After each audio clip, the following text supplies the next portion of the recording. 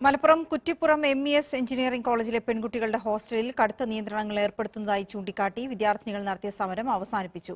മൂന്ന് ദിവസത്തിനകം വിദ്യാർത്ഥികളുടെ കാര്യങ്ങളിൽ ആവശ്യങ്ങളിൽ തീരുമാനമുണ്ടാക്കാമെന്ന പ്രിൻസിപ്പലിന്റെ ഉറപ്പിൽ സമരം അവസാനിപ്പിക്കുകയായിരുന്നു. പെൺകുട്ടികളുടെ ഹോസ്റ്റലിൽ പുറത്തു പോകുന്നവർ വൈകിട്ട് ആറിന് മുൻപ് തിരിച്ചെത്തണമെന്നാണ് നിബന്ധന. നിമിഷങ്ങൾ വൈകിയാൽ പോലും ഇരുന്നൂറ്റി അൻപത് രൂപ വരെ ഒരു ദിവസം പിഴ ഈടാക്കുന്നതായും വിദ്യാർത്ഥികൾ പറയുന്നു.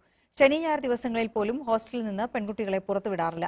മൊബൈൽ ഫോണിനും നിയന്ത്രണമുണ്ട്. ഇതിൽ പ്രതിഷേധിച്ചാണ് വിദ്യാർത്ഥികൾ കോളേജ് കവാടത്തിന് മുന്നിൽ സമരം തുടങ്ങിയത്.